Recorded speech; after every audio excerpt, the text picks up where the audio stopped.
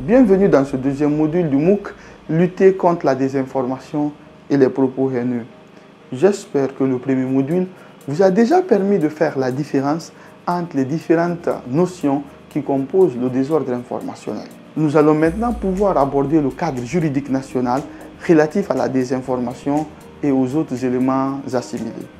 De façon concrète, nous présenterons dans ce module la loi portant sur la liberté de la presse et la loi relative à la cybersécurité et à la protection des données à caractère personnel. Mais compte tenu des nombreux aspects abordés par ces lois, nous allons nous focaliser sur les dispositions relatives au désordre informationnel et les infractions assimilées.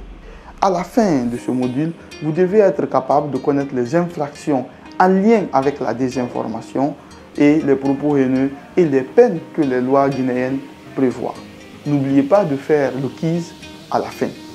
Et si vous avez des questions ou des commentaires, vous pouvez les partager dans le forum. C'est avec plaisir que nous vous répondrons. Merci.